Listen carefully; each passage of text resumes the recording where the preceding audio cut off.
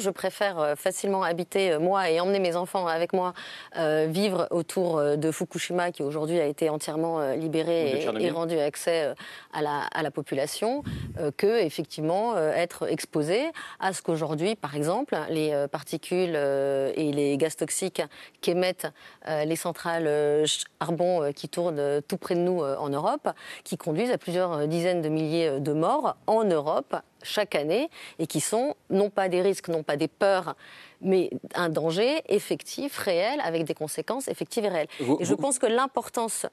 vraiment cruciale euh, dans ce dé- débat, c'est de commencer à distinguer ce que sont les peurs des populations qui sont légitimes au regard de ce qu'on leur dit